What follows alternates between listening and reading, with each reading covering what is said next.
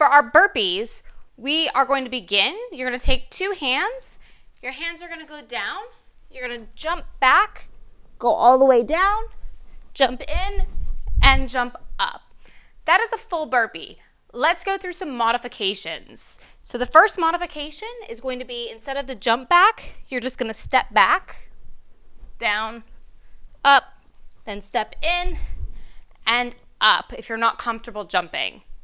Again, you can always come back, you can come out, you don't have to go to the ground, back in and up. So something like that might look like this.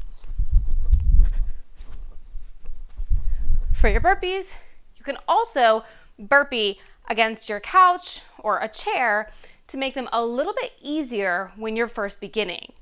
So that would look like this. So you're gonna come out, in, up, out, in, up. Or if you don't wanna jump, you can come down, out, in, and up, out, in, and up. Lots of different ways to burpee, um, going from sort of most difficult to easiest. So the idea if you're starting on the couch is gonna be to continually build and build to more difficult versions over time. So that is our burpee.